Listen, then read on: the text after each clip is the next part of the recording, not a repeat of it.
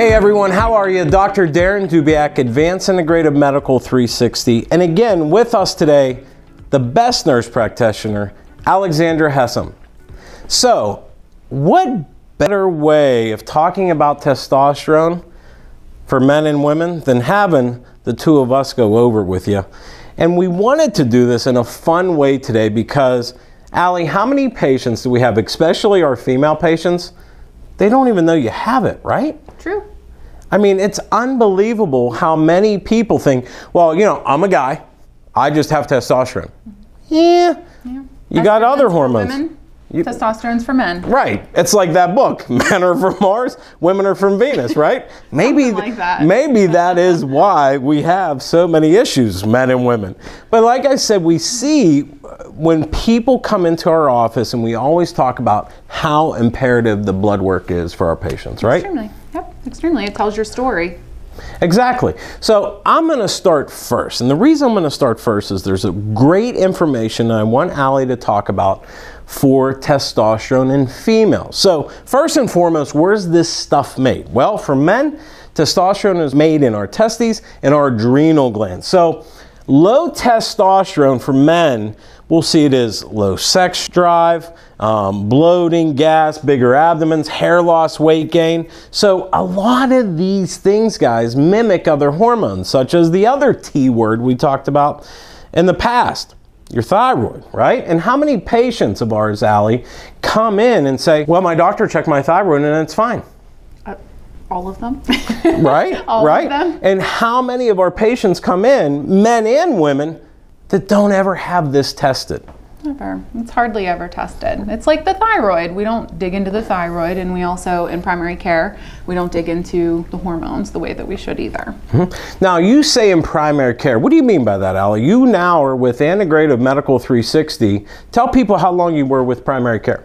I worked in the traditional medi- medicine setting for over 10 years. So, primary care is very different. It's kind of straightforward in a way, and we don't do a ton of digging into problems um, like we do here. And uh, the thing that I dislike about primary care the most is how we don't help patients change lifestyle things because at the end of the day, how much you weigh, what you're putting into your body, those are truly two of the most important things that you can do for yourself at baseline to make yourself healthier in the long run in terms of any disease process. And we don't do that. We tell patients, oh, well, you know, you're overweight and um, you got to lose a little bit of weight, you got to clean up your diet. Well, patients have no idea what that means when you tell them that, and then you send them on their way and they have no idea what to do. So you see them again in six months, and guess what? It's the same problem or it's worse. So we give them no direction. And not only no direction, when they come back six months later, what did you usually do in primary care then? A medication, right?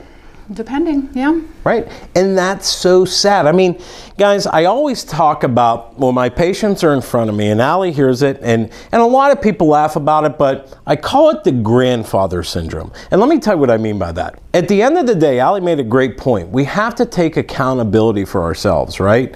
I remember being young, if we misbehaved, my grandfather would always tell my parents, give me the grandkids for the weekend, right? It was almost, remember how they used to do that?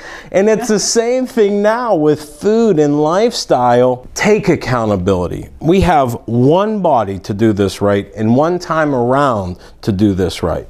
So I want to talk about testosterone again in men. So higher testosterone in men, we see acne, blood pressure. Allie and I will see different patients come in here where they'll have different issues each morning. If they if their blood pressure's off, they'll feel dizzy, lethargic, things like that. The big issues that I like I keep saying that I really want to go over with today and why it's so important to have Allie is because testosterone is a word that's always thought of with just men. And I want Allie to go over a little bit. So her and I are going to talk. She's going to do most of the talking. I want her to go over what we see with women who have left low testosterone.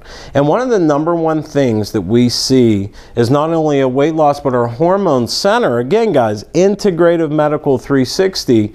We're seeing so many people and so many women with low libidos too. Hey, trust me, us guys, low libido, I get it. But a lot of the times it's not just our fault, right? No.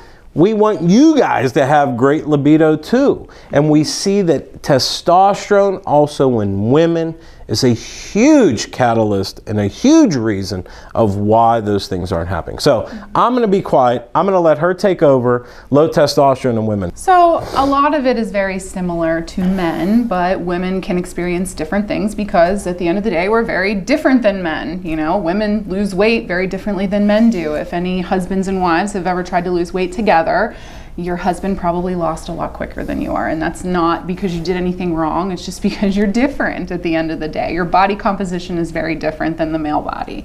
So, low testosterone for a woman, also low libido, just like men, low sex drive. Fatigue is another thing. Decreased mood, so women can be depressed from low testosterone, muscle weakness.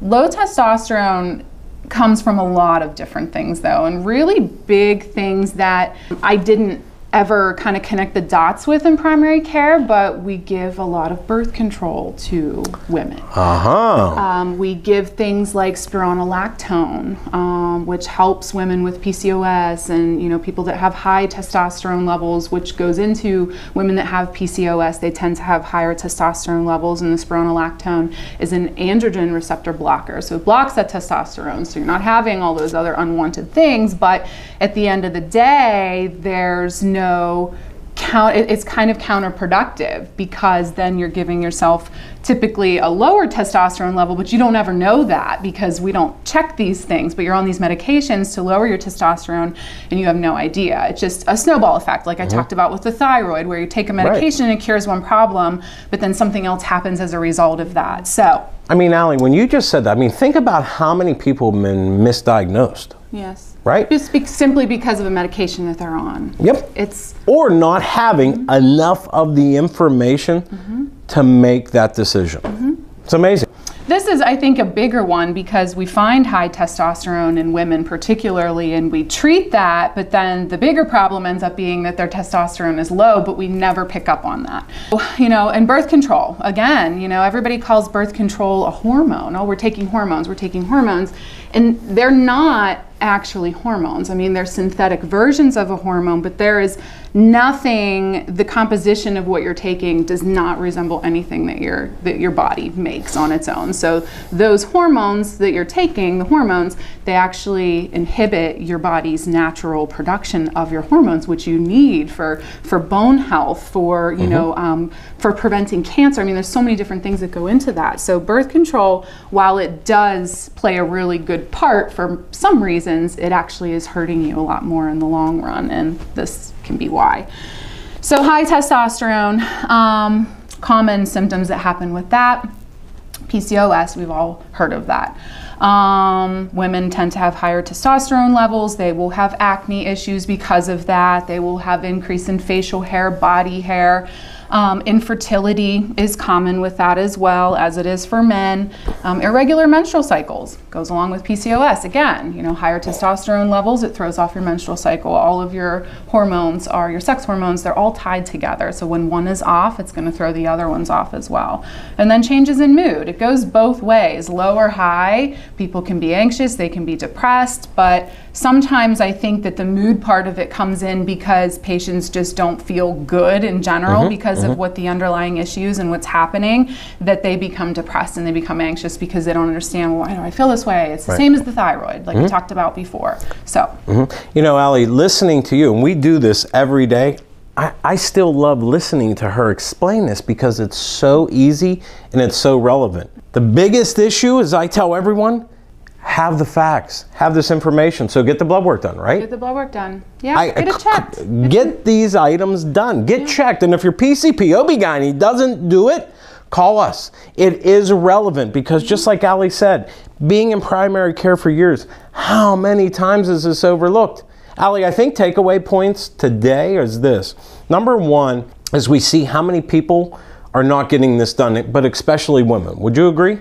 Oh, 100%. or are told, "Hey, it's your age. Mm-hmm. Don't don't worry about it. These sure. things happen." And sure. and you know what's For funny? sure. You're I hear postmenopausal, you know, you're you had a baby, you're you know, you're overweight, all these different things. They're just like a mm-hmm. band-aid over the mm-hmm. problem and nothing ever gets resolved and it just gets worse and it leads to other things that just make you feel poorly and more medications and more specialist visits and it snowballs like a lot of the other things that we mm-hmm. go through in mm-hmm. primary care. Mm-hmm. And you know, this is our nurse practitioner, Alexander, who I keep saying monitors every patient's medications and everything that we do here. This young lady reads and looks over. And that's how much faith and belief we have in her and our entire staff and all of our offices, how much we rely on this young lady. And I want to go over, you know, Ali, you made a very, very good point and, and it's amazing to me because we say it so candidly is oh birth control it's amazing how much that one drug remember i'm a guy you know but i hear every female on birth control and i'm like okay obviously for the obvious reasons right mm-hmm. but then the more and more you and i sit with these patients especially our female patients mm-hmm. it's utilized for almost everything we have to find other ways around it because I think that birth control, you know, it was such a great thing and we fought for that so much at one period of time in the past, but um, we didn't know what the repercussions were going to be like for that. So right, and trust me, Ali and I are not telling people to stop taking your birth control no, or any of your hormones. That, but if you're having some of these problems, we have to look into it a little bit deeper, and we have to try to come up with alternative things if this is the case for you. What are those alternative cases? So as Ali will talk about, and as I will go over, we do a lot with food. We do a lot with nutrients and supplementations, and another huge component of what what we do in our practice is hormone replacement help. Is that correct? Mm-hmm. So, and that's a huge component of how to help our female patients and really how to live your best life. Mm-hmm. So, Ali, tell everyone our website at integrativemedical360.com. Bingo. Call us at 412 227 9255. Again, thank you, Wendy, for letting us be on your Facebook, yes, on your show. We always you. thank you, thank you, thank you. She's in the crowd today. Yes. Um, and again, guys, thank you. Give us a call. Get these items checked. Have the facts. Know what to do. Ali, thank you so much. You're welcome. We'll talk to you guys soon.